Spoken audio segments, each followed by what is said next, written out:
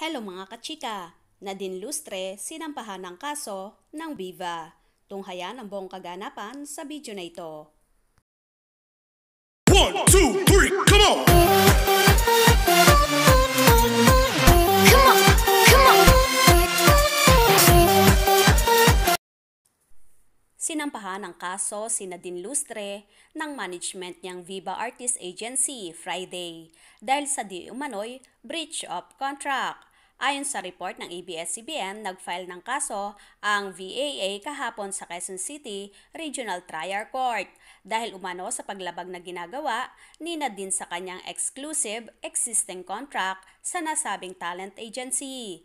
Di umano ay diretsong nakikipag-deal si Nadine sa advertisers, promoters at iba pang third parties at binabaliwala ang kontrata sa Viva. Ayon sa Vivas Legal Counsel na si Chino Rojas, dapat i-honor at irespeto ni Nadine ang kanyang kontrata at nagbabala sa mga third parties na nakikipag-negotiate sa actress.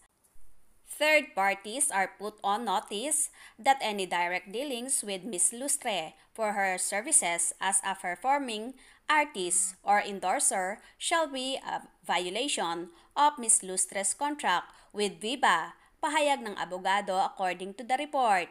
Matatandaang last January 2020 ay nag-decide si Nadine na i-terminate ang kanyang kontrata sa Viva at siya na lang daw ang magmamanage sa kanyang sarili. Bukas ang panig ni Nadine sa naturang kaso.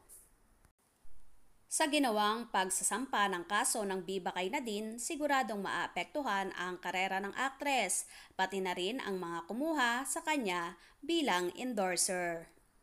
Mga kachika, anong masasabi nyo dito? Kung kayo hindi pa nakapag-subscribe sa channel ko, maring mag-subscribe and hit my notification bell para maging updated kayo sa next chika ko. Salamat sa patuloy na pagsubaybay. Hanggang sa muli, ito ang inyong Showbiz Chikadora. Paalam!